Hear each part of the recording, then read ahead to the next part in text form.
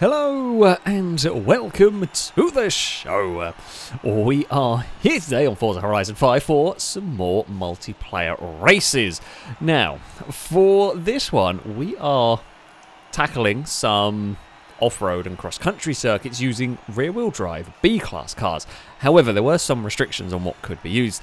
They had to be vehicles that started off rear-wheel drive initially, so you couldn't swap a Land Rover, for example, to be rear-wheel drive, and they couldn't be something that was intended for uh, specific extreme off-road racing, things like the buggies and the UTVs and all of that kind of stuff. I have got a Renault 5 Turbo. Admittedly, it was intended as a rally car, uh, but it's not a buggy, so that's fine. Um, yeah, I've got a Renault 5. I've not built one of these before, I don't think. Not in Horizon 5. Anyway, my hope with this is kind of twofold, really. First of all, surprisingly big tyres on it. I think it's 295s at the rear while being quite light. Uh, so good power to weight ratio, nice big rear tyres, and mid-engine. And I'm hoping the mid-engine part is going to really help me here. I'm, I'm looking for some traction basically. Uh, we are going to be down on power to things like the Dodge Coronet, and there's a couple of other muscle cars. I think there was a Cyclone I saw somewhere. Uh, they're going to have a lot more power than I do. But we are going to be so much lighter, so my hope is we'll be better in the corners. I know I'm not running Forza Aero because I know I'm so far down on power.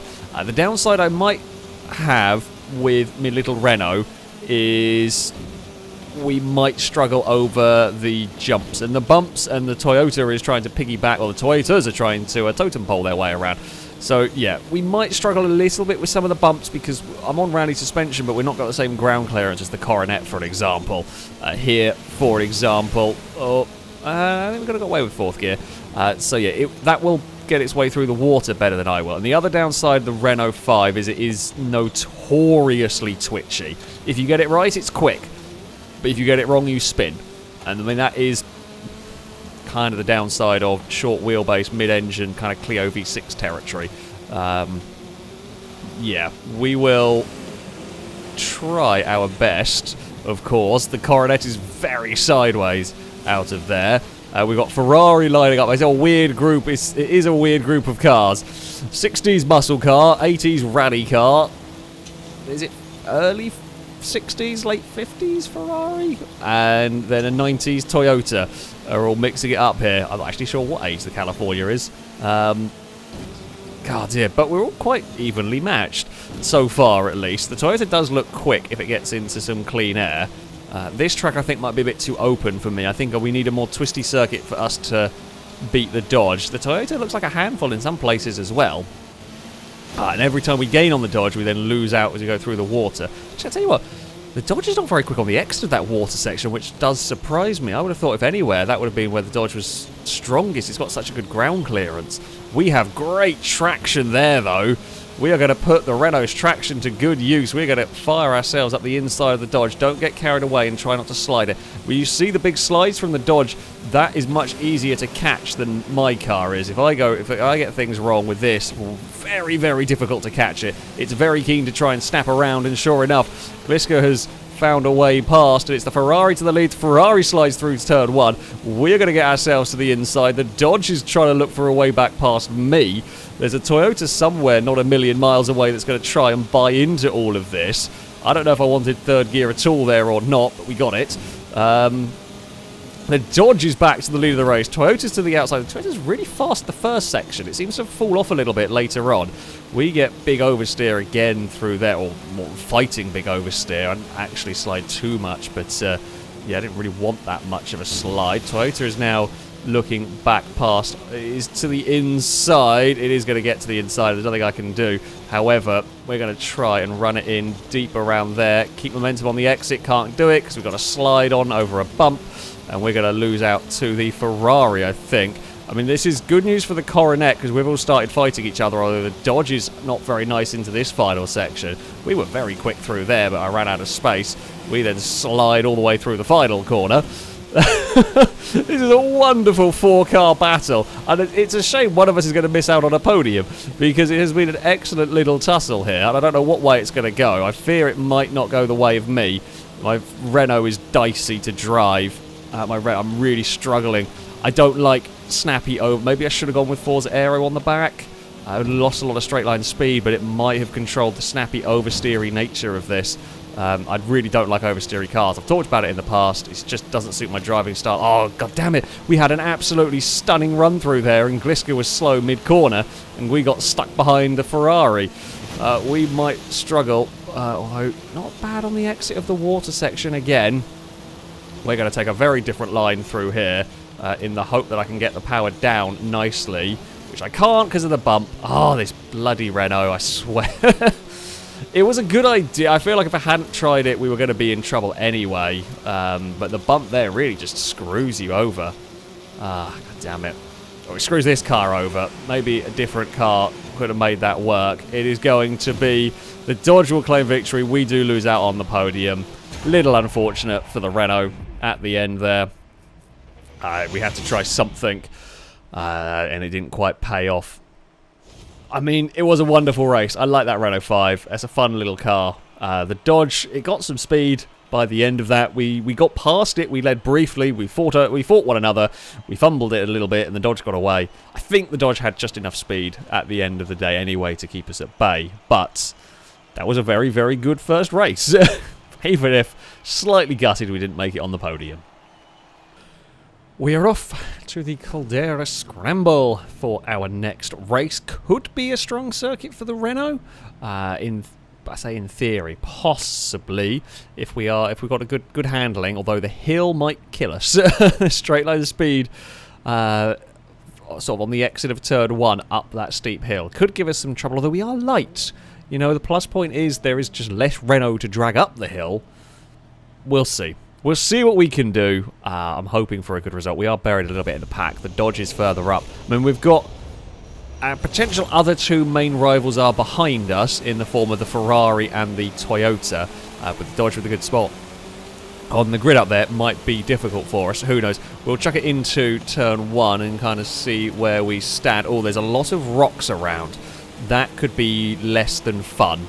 Uh, of course, I'm very light. The Dodge won't have I mean, Dodge might have some problem cutting through the rocks, but it'll have less of a problem than I will uh, cutting through these rocks. Uh, and certainly some of the big muscle cars, uh, that will be an advantage to them. Up oh, there's, oh, well, I mean, we I was trying to desperately find a gap. A very sideways, very large muscle car uh, filled the uh, the road in front of us uh, we are going to have a sneaky little bit of a look to the inside of the Escort that I don't think was uh, quite expecting a huge amount of speed from a Renault 5 suddenly to appear there, but we made the pass stick. Uh, the, the, the Ford did see us just in time, so yeah, we got that one done nice and cleanly. So we're trying to chase down an MR2 uh, currently. So that is the other mid-engine car in the field. I think the only other mid-engine car that we have going on. So that does that will have smaller tyres than I do, uh, but will have the same traction, I guess, advantages. Although, can we duck underneath it here? Oh, there's a little gap. There's an overlap. We've got the Renault alongside, and I think we can make the move stick and claim a second place. If that change of direction there is where we will be better than the Dodge. And what I can try and do, I think the rocks are mostly cleared now. As I say, if there are rocks about, if we just sit in the wheel tracks of the Dodge, let it clear them out of the way for us, and then we can hopefully sneak past. Uh, do seem like we've got away from the Ferrari and the Toyota here. When I think when it gets really twisty, I think that's where the Renault excels. Yeah, the Ferrari and Toyota are stuck in traffic at the moment. Um, but it has to be really twisty for the Renault to be excelling. And even here, while I like this car, I like the speed, I the way it drives scares me. The back end is always seconds away from having a very, very big problem. Uh, which makes it difficult for me to throw it into these corners with the belief that it's going to stick and throw it into these corners as hard as I need to if I'm going to catch this dodge because that dodge is fast here. We have caught up to it, but uh, I, finding a way past is not going to be easy. I'm hoping it makes a mistake, if I'm honest with you. It'll be a lot easier to pass if it does, because uh, as much as I can gain in these corners, we come out the other side, and it's just got the grunt up the hill. It'll have some big tyres on it as well, so it has good traction. Uh, where we're going to get the pass done is, I mean, we have to be absolute fly through here, and then it's this next corner is where we're going to do it. This next sort of chicane. This is where we're this is where we're making most of our lap time on the dodge. This lap around, though, I was out of shape. I was out of shape. The Dodge hit the wall, but I was twitching and I was fighting the back end of the car. The Dodge is sliding, but you don't get the same twitchiness with the big muscle car. It's It'll slide, but it's a more gradual thing. This just snaps and wants to go, and it just wants to kill you constantly, which does alarm me. I mean, quite a lot, if I'm honest with you.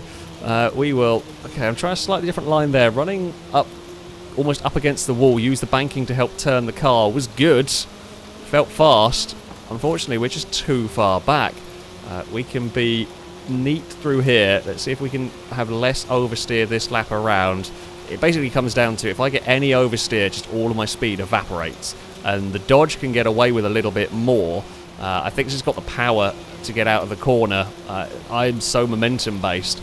I mean, this lap around, we've been we've been really good this lap. I needed to do that last lap.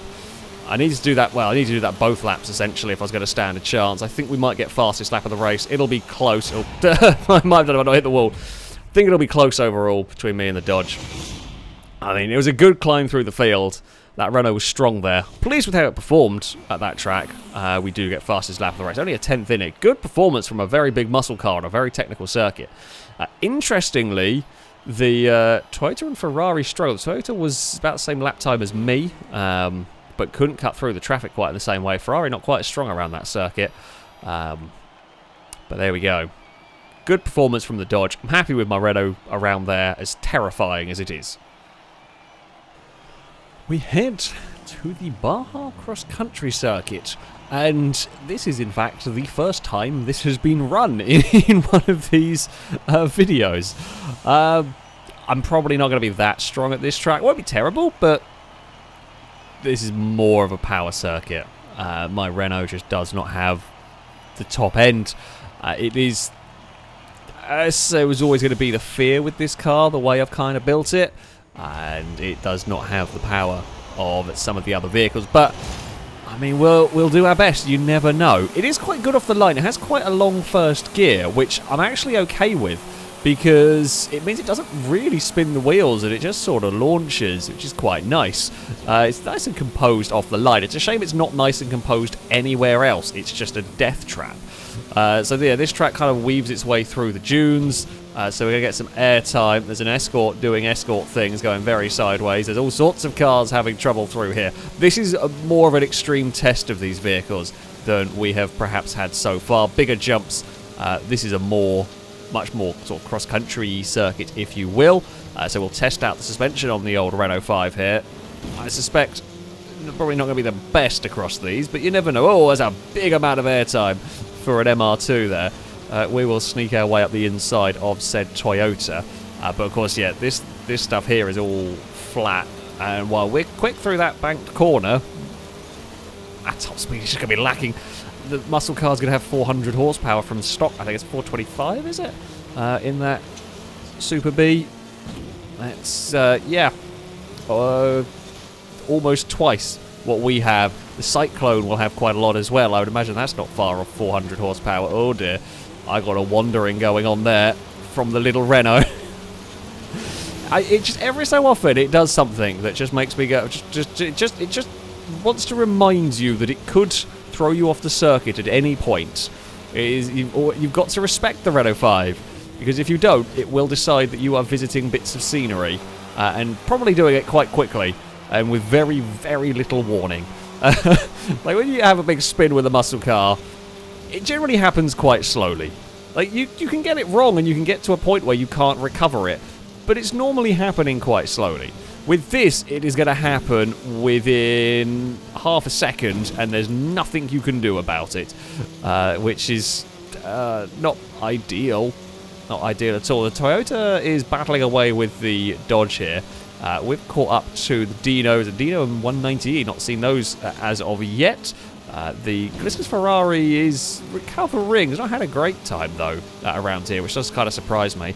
Uh, it might have had a twitch on the hill on the first lap. A few cars got caught out on that first lap by that hill. So I don't know whether Grisco would have lost time there, or maybe the Ferrari doesn't quite like this track as much. It does it does happen. Uh, we are trying. Mercedes got more straight line speed than me as well. Uh, we are trying to do something about the 190. Not going to do it here. The Dino also outruns us. So yeah, this sort of track is bad news for me. We just don't have the top end to fight. I think that's the problem.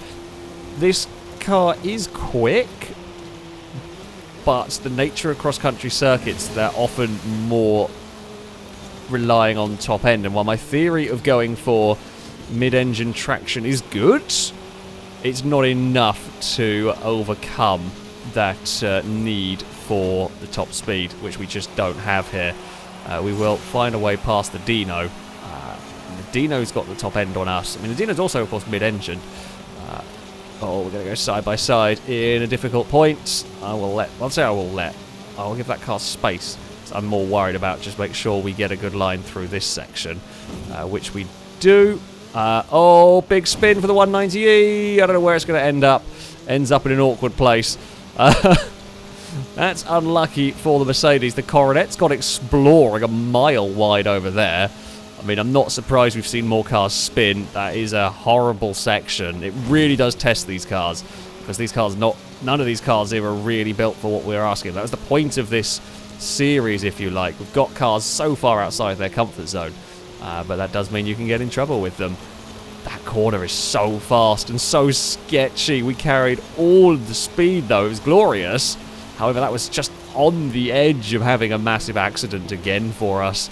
Oh, God. Every lap, every lap does feel like I'm on the edge of having a huge crash in this car. If I get to the end of all of these races without spinning, I will be amazed. Ferrari's got some pace. obviously made a little mistake somewhere, dropped back when battling with the Merc, uh, but it has just left us. I've got absolutely no answer to it at the moment. Uh, Coronet, maybe the I think Toyota must have made a mistake because the, the, Coronet's mistake had dropped it back and the Toyota was gone, but then the Toyota's fallen back as well now. So I'm going to guess the Toyota may have made a little error somewhere. We are clear of Gliska though in fifth. There's, there's a chance for a podium because tell there's a chance somebody spins on the sand dunes here. There's a chance I spin on the sand dunes here though. That is always uh, always a possibility. I feel like my car is one of the closest to spinning every time over here. Uh, oh, we're all out of shape there. That's really it's a really bad line through that section for me. However, the it's a bad line, but the more important bit is I didn't spin. We got away without spinning there. That is critical. funnily enough, over the big jump. The Coronet's got huge airtime. Don't want you don't want to go too far to the right there. You don't want that airtime. It looks spectacular, not good for a lap time. You want to uh, try and stay as flat as possible if you can. Uh, we can probably be rapid down here again, which we are. Uh, so yeah, we can catch the Ferrari all through this section, and then we just can't match its pace up. I'm not going to bother with fourth gear, because we go into fourth, we'll just immediately have to change down because we're going up such a steep hill. Uh, oh, Ferrari had a terrible landing, which is good for us. Oh, Ferrari missed a checkpoint, did it? Must have done. Or either that or press rewind by accident. Um, maybe the Ferrari's terrible landing meant they just lost... I didn't think they missed the checkpoint, but obviously must have done. They must have just like lost their place on the track while trying to recover from that. Oh, we looks like we're going to get a podium. Not sure we really deserved it here. Um, yeah, the Renault was an experience. The sand dunes were mean. A number of vehicles went for a spin early on. Um, we kept it together. Not easy to drive, that Renault, but it will be another podium. No answer for top two. They were too fast. Toyota and Dodge uh, far too quick around there. We get a faster lap than the... Wait. Oh, Toyota must have missed a checkpoint. I don't see them swap. I don't know what happened at the end there. Um, we get a faster lap, interestingly, than the Toyota. The Dino gets fastest lap of everybody. That was flying. Uh, no wonder it buggered off from us. Gliska goes around a similar lap time, a little quicker. Ah, I, I, quite like that track actually. That was that was that was not bad. a very different sort of challenge. Um, I'll take a podium. We head to a very silly track for our next race. Uh, this is a very silly track. It, on I mean, the track map, it looks simple, and in reality, it is barring one huge jump. Actually, two, one huge jump and one fairly large jump that can make or break your lap time around here. Uh, none of us are in vehicles that are going to be happy with the landing. I don't know what's going to come. My expectation is that Dodge should be good here. As I, as I said before, that should have the most ground clearance. That should be the happiest with landing the big jumps could the mid-engine cars be strong there? Possibly. I don't know why we would be, but I think I feel like we're too low. I feel like the ground clearance of the Dodge is going to make all of the difference. I mean, the Renault might be quite nice in this little section. It might be able to carry some good corner speed where the Dodge can't. But yeah, the big make or break of your lap times are going to be these landings, which the Dino was not good. The MR2 was even worse. But as slightly feared, perhaps, the Coronet was strong there. Um, that got a very good landing. Now, it, the the actual corners on this are quite technical, which could potentially cause issues for that big muscle car. And we actually snuck up the inside here when it got a poor landing there, so it's, it's not guaranteed to get good landings every time. Will have more straight line speed than me, won't have the grip of the uh, little Renault, as we will chuck it up the inside, use the banking a little bit. Uh, Dodge is going to come off the banking, though, up high with some speed. Uh-oh, we are twisting in the air. Uh, we got all sorts of out of shape on that, and the Coronet is to the lead of the race. However, oh, they're going to go through the middle. We're going through the middle with the Renault 5. The Renault is to the front. The Toyota has come to join in the fun times. Problem is, for us, that Coronet is probably going to land quite nicely here. Uh, not as good as it did on the first time of asking. Um, but yeah, okay. What can we do? Oh, I got my braking. Got my car a little bit of trouble there. I don't quite know what I did, but my car got very unhappy through that section. The Toyota is alongside. Uh, and that will be off here and landing. Well, it didn't land great. I feel like we're landing okay, which is not like we're not bouncing, we're not wheeling like some of the other cars, but we are not carrying enough momentum. Uh, we, I think we maybe if we wheelied a little bit might actually help us uh, carry some momentum to get going. Let's see what happens on this one. Not good. not good for either me or the Toyota. Yeah, the Coronet is just too good on the landings, I think, for us. Uh, I'm trying to go for a cutback. Ah, I mean, yeah, we had we had the momentum, we could have done it, but the problem is I just didn't have the grip to avoid running into the back of that car. Uh, that's annoying. It does look like third might be all we can manage here. Uh, we can carry some good pace through there if I don't mind the fact that the back end goes a little bit all over the place. Want third on the landing, maybe. Hmm. Yeah, maybe sort of hold clutch in, put it to third for the landing of that one. I don't know what I want landing on this next big, ridiculous jump. Uh, maybe second, because we know we're going to lose a lot of time. So maybe if we just run off here, hold the clutch in. Yeah, second I think is the way to do it we don't crash around like everything else, uh, which is what, what makes it feel like, oh, we should be good here, but we just hit the ground and stop. We don't bounce, we don't wobble, it just stops, but it still kills all the momentum either way. Uh, so, yeah, it's, it's, still it's still losing time. Uh, I think definitely think clutch in uh, and kind of have it revved up is the way to go, perhaps. Uh, so yeah, again here we'll go off the ramp clutch in, wait for it to hit and lose all its speed, but have the revs built maybe. Um, it is kind of much of a muchness. Uh, there's only so much I can I can do because again, it's the same thing. We're lacking just that little bit of straight line speed that these two ahead of us have. Uh, we, we're very good in the twisty stuff, but the cross country circuits do not have enough of the twisty stuff for me to really make the most of it. Yeah, we're at least I guess the plus point is as much as this car wants to kill me, the car wants to kill me on tarmac. On the big jump landings, it's actually consistent. Uh, I'm not going to say fast, but yeah, it is one. I was watching that Toyota. It lands and it bounces all over the place. Uh, it might carry momentum. Uh, I don't know if it does really actually carry that much more on the, the jump landings than I do. It's faster to down these sections. Uh, but yeah, it bounces all over the place horribly, and we don't really do the same. Uh, we crash, lose momentum, but we do it at least in a controlled manner, which is something. Well, there's something I can take away from all of this.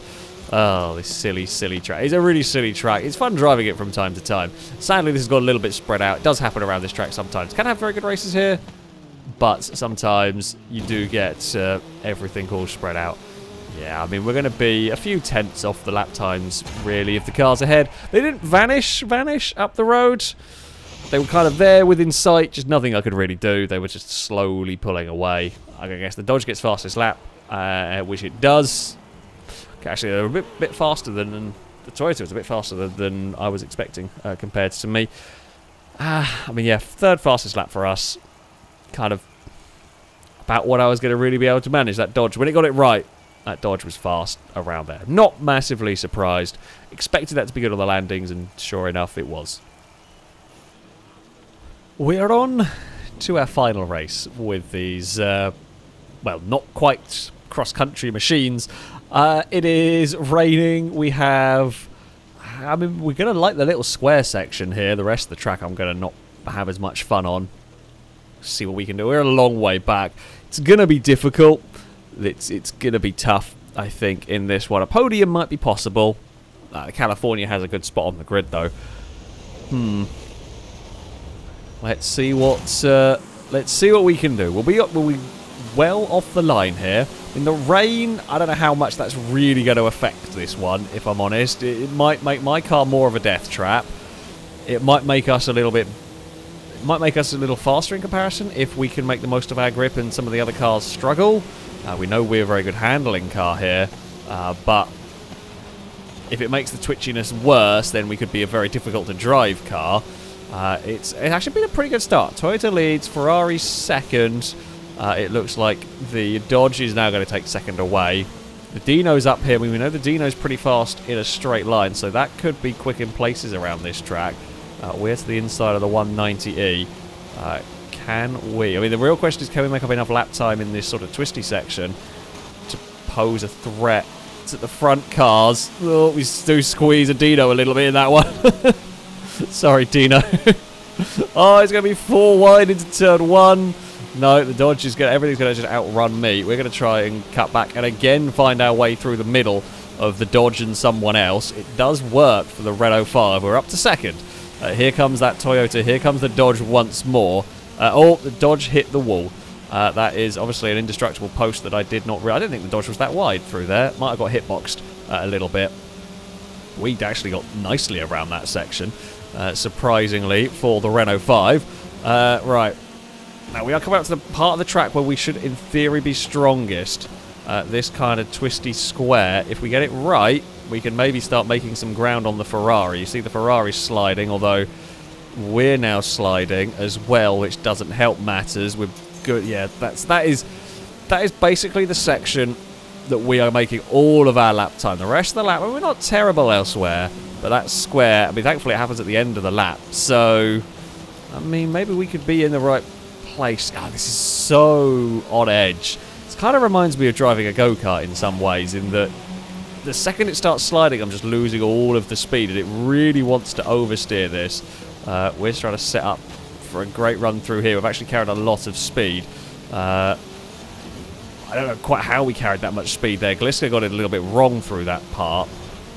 I ended up in the wrong. I just didn't expect to carry that much overspeed. I don't quite know how I managed to. Uh, we will run into here and we will try and again carry the momentum through there, although it's some oversteer from me. I'm still struggling with oversteer on the bumps. Uh, we're going to run wide on the exit here.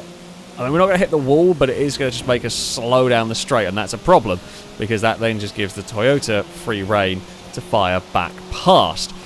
What can I do? with my Renault here. It is uh, life is difficult in this race. It's uh, we definitely got pace here. This is probably the most competitive we've been since the Caldera circuit, if I get it right. Uh, ah, uh, debris. I was hoping that was not going to have respawned. Bugger. We needed that not to be there. That tight line, I think, can work for me, but I've got to be more careful of the debris, and I fear we might have lost a bit too much time, unless the front two really start fighting each other, which is always possible. Uh, I'm trying a slightly different approach through here. Gliska missed a checkpoint. Oh, no. Oh, it's all gone wrong for the Ferrari. It's all gone wrong for me as well, because I'm miles out of position through there. Just overdriving the Renault a little bit now. Come on. Only got one more time around. I don't think I've got an answer for the Toyota here. I think Steve is going to have this. We're definitely faster at this track, though. Uh, I just my lack of straight line speed is what's killed us a little bit. Uh, the lack of straight line speed we might have got away with it if I had more rear end grip because I just can't throw this car into corners and carry the momentum because I just don't trust the back of it.